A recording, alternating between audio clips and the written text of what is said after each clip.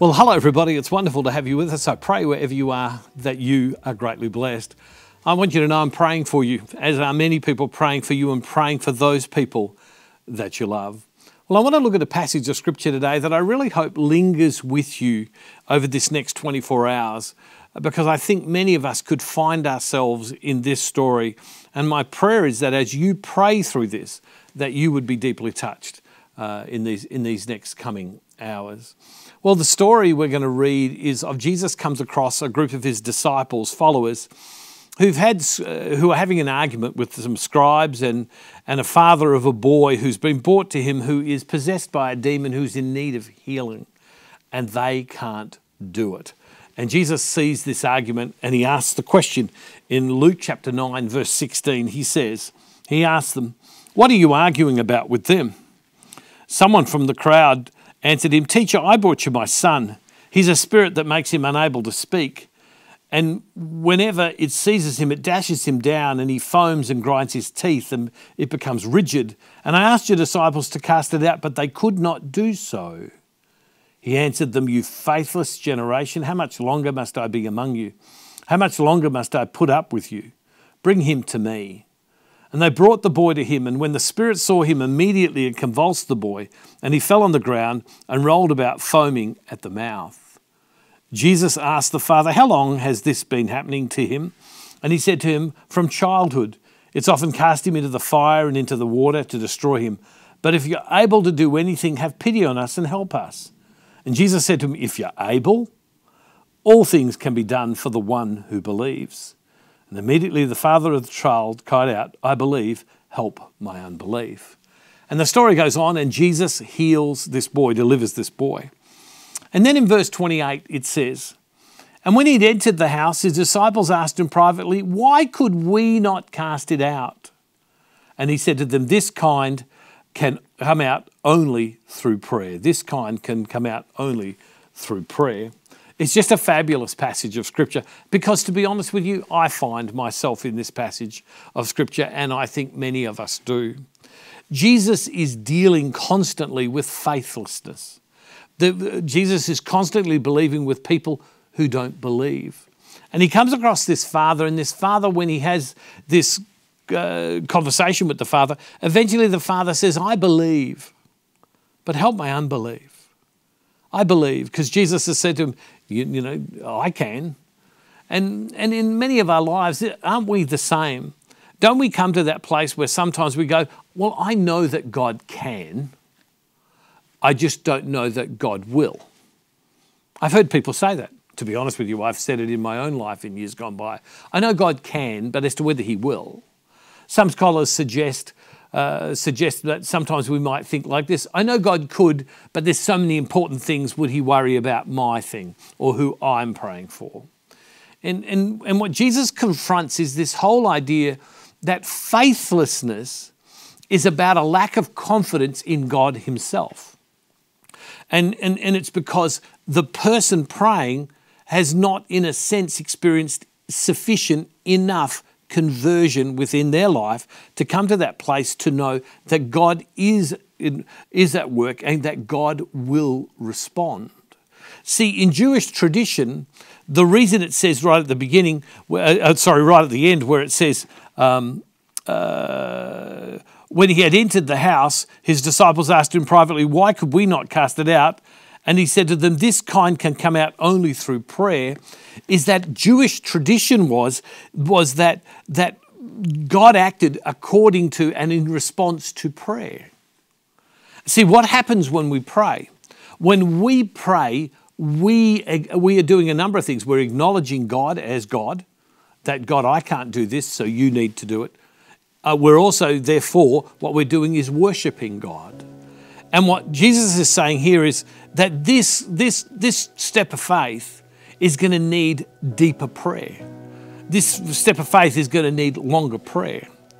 And so, as we're praying for people we love, our sons and daughters, our husbands, our wives, friends, brothers, sisters, parents, as we're praying, pray for someone you love doesn't end because, well, I prayed for them for a couple of days but rather praying for someone you love is a commitment to praying for as long as it takes. For as long as it takes. My grandmother prayed for me for years and years and years, and very likely I wouldn't be here today if it wasn't for her. That our prayer is this is that we carry for someone the belief that God is at work and we hold them up to God. We hold them up to prayer almost to get God's attention in a sense, not that He needs uh, reminding. And so, so prayer is, is happening the whole time. So we hold it up to God because there's something else happening is that as we pray, we are changed. The more we pray, the more we come to accept God's will, the more we come to understand and to see differently than that which we uh, could have in any other way. This Father who comes, Lord, Lord, I believe, help my unbelief. Um, what he's really saying is, God, you do it in me. I want to do my best. And there are many of us like that. So I want to encourage you in your prayer for praying for people. Make a decision. You're going to pray long for however long it takes. You're going to hold these people in your heart and that burden in your life. Number two, that you're going to acknowledge that God is the one who can. And three, that you are going to be experience conversion. I will be changed as I pray in my life because that is what's happening. It's a fabulous passage of scripture. Reflect on that today. I really encourage you. Lord, I believe, help my unbelief. And God will. And what's his answer? Pray. Because as you pray, you are changed and your faith is built. Well, as we finish today, I want to conclude by asking you would you, would you help me? Would you financially support me in proclaiming the gospel uh, to people all over the world? The truth is, there are many people who need their faith built today. Jesus said, Go into all the world and share the gospel. And the reality today, the, the most wonderful way we can do that is through technology because technology reaches far more people than we ever would be able to do if, even if we traveled and went face to face. It's amazing how many people tell me stories of how this has blessed them in their life. Many of you tell me that you came across it during, uh, during Lent earlier this year. Many people tell me that they came across it through some advertising campaign that came about. That was because some people got together and they said, Well, why don't we help share the gospel so more people can find it. And I want to ask you, would you help me to, to help people find this proclamation of the gospel? I can't do this without your help. Uh, I'm not embarrassed to ask. I feel very proud to ask because I'm asking you to participate in ministry. And just like I can't do it without your help, in many ways, many of you, this is not what you do, but together we can do it together. So I'm inviting you into ministry with me. I'm inviting you to come and stand with me, and together let's proclaim the gospel, share the gospel with others. To everybody who gives, I call them our faith builders because that's what you are. You're a faith builder, you're building the faith of people. And to people who give on a regular basis, whether weekly or fortnightly or monthly, and you've set up an arrangement to do that where it comes, it comes all the time. Uh, to you, our faith builder partners, I can't do this without you. To all of our Faith Builder partners, I want to say that we have a special recording, a special meeting that I have for you and some material I want to send you because I literally can't do this without you. And I'm so grateful for your support and your encouragement and to be able to personally uh, be able to thank you for, for you making it possible to share faith. Can I ask you today, would you prayerfully consider standing with me in sharing Jesus with people so that people's faith are built?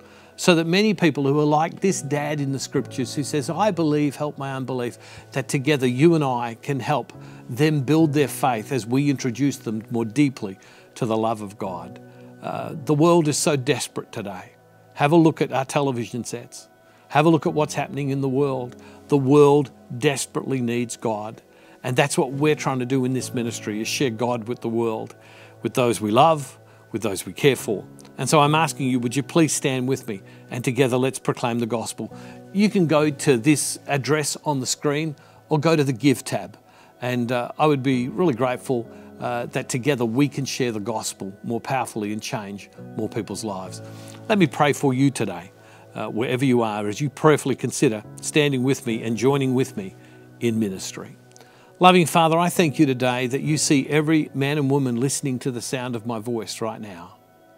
And Lord, in so many ways, so many of us have faith, and Lord, and so many of us need to pray even more build my faith. Lord, I believe, help my unbelief. Lord God, I just pray that today people would grow in their understanding of that. I pray, Lord God, for every person that gives. Lord God, I thank you for their contribution. I pray, Lord God, that, that you would work more powerfully in their life. And as they surrender and as they step out and as they worship you in their giving, that they would encounter your blessing in their lives that I know so well in my own life, Lord God. Thank you, Lord God, that, that together we are proclaiming gospel, the gospel all over the world. And people are discovering you, being transformed by you, growing in faith by you. Thank you, Lord God, for all those who are with, with me in helping me. And I give you thanks and I give you praise and I give you glory, for you are God. We adore you, we glorify you, we praise you, for you are magnificent. And Father, we make this prayer in the name of Jesus through the power of your Holy Spirit. Amen. God bless you all, everybody. See you next time. And don't forget, wherever you are, God is never far from you.